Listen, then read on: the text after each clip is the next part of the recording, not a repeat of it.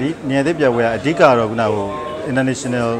migrants day ပေါ့အဲ့ဒီအတွက်ကို IOM လို့ခေါ်တဲ့သူ့အဖွဲ့ကနေပြီးတော့ကျွန်တော်ဒီပကြီးပန်းစရမ်ပကြီးပြကန်းနဲ့ပူးပေါင်းပြီးတော့စီစဉ်မယ်ဆိုပြီးတော့စပြီးစီစဉ်ကြရကနေပြီးတော့ဒီပွဲလေးကဖြစ်သွားတာပါအဲ့တော့ဒီမှာလဲဟိုကိုမိတ်ဆွေတည်တဲ့ပကြီးဆရာတွေအားလုံးလည်းဖိတ်ခေါ်ပြီးတော့ပါနိုင်တဲ့သူနောက်တစ်ခါဒီနေရနေပြီးတော့ရန်ကုန်ရွှေ့ပြောင်းလာတဲ့သူတွေပေါ့ပြီးတော့မှဒီရန်ကုန်မှာနေပြီးတော့ကိုနဲ့တည်တဲ့မိတ်ဆွေလည်းသူတို့ကြလည်းထည့်လို့ရမရဘူးဘာလို့ဆိုတော့အဓိကတော့သူက ရွှေ့ပြောင်းနေထိုင်ပြီးတော့ဒီပကြီးလုပ်ငန်းအနုပညာလုပ်ငန်းနဲ့အတမှုတဲ့သူကိုပဲဟိုပြပွဲလုပ်တဲ့အနေနဲ့စပြီးပြပွဲစီစဉ်ပြတာပေါ့စီစဉ်တာတော့တစ်လလောက်ကြာတာပေါ့အဓိကတော့ခုနဟိုပေါ့ဒီကမ္ဘာလုံးမှာခုနသူတို့လည်း information တွေတော်များပေးထားရှိပါတယ်ဒီကမ္ဘာလုံးမှာလူတွေကရွှေ့ပြောင်းသွားလာနေထိုင်ကြတယ်ခုမှ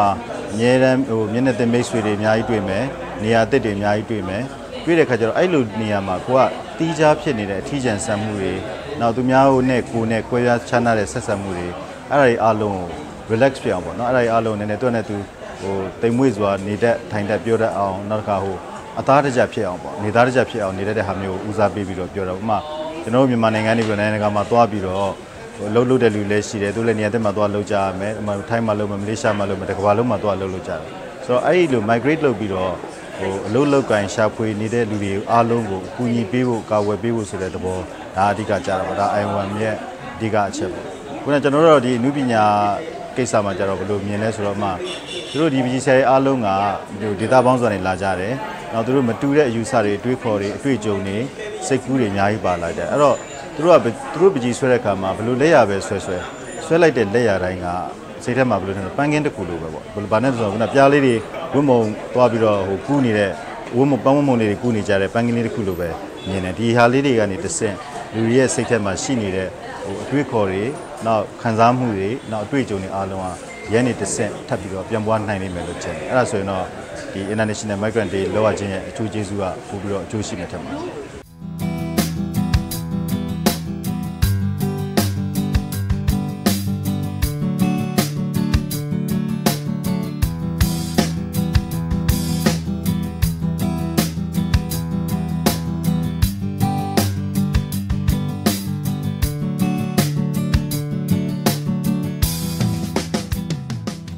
ပန်းဆိုးရန်ပကြီးပြကန်းနဲ့အတူ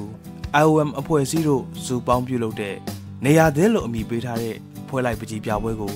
ပန်းဆိုးရန်ဆင်းမှာတင်ဆက်ခဲ့ပါတယ်။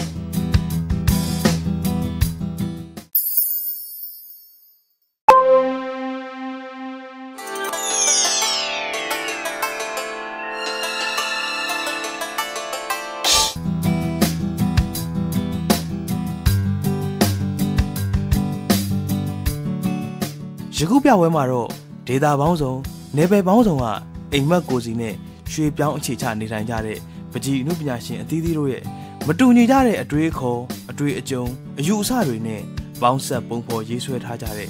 လျာစုံအသွေးစုံအယောင်စုံပကြီးကားများကရောက်ရှိသူများအဖို့ပကြီးပန်းကင်းကြီးတွေကိုလာရောက်လည်ပတ်တဲ့အောင်ခံစားရပါလိမ့်မယ်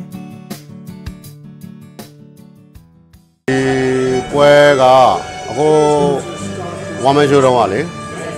ဒီပွဲမှာအလုပ်လုပ်တဲ့အမျိုးသမီးတယောက်ကအခုပကြီးကားတဲ့သဘောကျတယ်ဒီ migration issues နဲ့လည်းပတ်သက်တာကိုအခုပကြီးကားဆိုတော့သူကစိတ်ဝင်စားတယ်အဲ့ဒါနဲ့ဒီ Pansoran Gallery မှာဒီပွဲနဲ့ပတ်သက်ပြီးလုပ်ကြလို့ရှိတယ်ပေါ့ပကြီးပြပွဲရှိတယ်ဆိုတော့လည်းသူဖိတ်လို့ပေါ့ဖိတ်တော့အကိုကဒီပွဲကိုပါဝင်ဖြစ်တယ်ပြီးရင်ဟိုဘယ်လိုပေါ့မလဲစိတ်ဝင်စားစရာကောင်းတဲ့အကြောင်းအရာဖြစ်နေတော့နေရာတဲ့ဆိုတဲ့ဟာဘာလို့တော့အတိတ်ပဲရှိတယ်လေ အားကြောင့်ပါရန်ကုန်မှာတော့သိရတိုင်းပဲနေကပကြီးစရာတွေအများဆုံးရှိမှထင်တာပဲဆိုတော့နေပကြီးစရာတွေအနေနဲ့ပေါ့ရန်ကုန်မှာဒီလိုမျိုးနေရလာတယ်ဆိုတဲ့အကြောင်းကိုဖိပြီးတော့ဟို emphasize လုပ်ပြီးတော့ဟိုပြရတဲ့ပွဲမျိုးကဟိုနည်းနည်းရှားတယ်လေ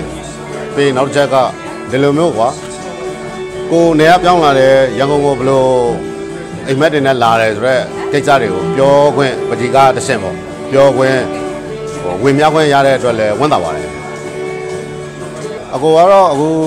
ဒီလေတွေ့ရတာပေါ့ပကြီးကားကအကိုရေးနေတဲ့အကြောင်းအရာကဟိုတလော river မှာလုပ်တဲ့ပွဲလုံးပေါ့နော် silent moves လို့ series မျိုးဆက်ရေးပြမယ်တင်တယ်အခုပကြီးကားတွေကလည်းဟိုလူတွေကွာရွှေ့ပြောင်းရတဲ့အကြောင်းကိုအခြေခံမဲ့အကိုရေးနေတာပေါ့နော်အခုလောလောဆယ်ဆိုတော့ဒီကိစ္စနဲ့ပဲဆက်ရေးဖြစ်နေမယ်ထင်တယ် ပြီးတော့ဟိုနည်းနည်းသိရတာမယ်ရန်ကုန်ကတို့မြန်မာကပကြီးဆရာပဲဖြစ်ဖြစ်ပဲနေပယ်ရပဲဖြစ်ဖြစ်ရန်ကုန်ကဘာပြောအရေးပါတဲ့နေရာကိုဆိုတော့အများစုကရန်ကုန်ပြောင်းလာမှသာလျင်ကိုယ့်ရဲ့ထိတွေ့တဲ့အတိုင်းအဝိုင်းကျယ်လာတယ်ကိုယ်အတွက်လည်းအခွင့်အလမ်းတွေပိုလာတယ်ပေါ့ဆိုတော့သူသူကိုဒီလေဟာကိုမွေးတဲ့မွေးရမြေမှာတည်သွားတဲ့လူကတော့ရှားမယ်ထင်တယ်ဆိုတော့ ဒီလိုပဲလူတွေကပြောင်းရွှေ့သွားလာနေတဲ့ဟာမျိုးနဲ့ပတ်သက်တဲ့ပကြီးကားမျိုးတော့အခုဆက်ရစ်ဖြစ်နေမယ်ထင်တယ်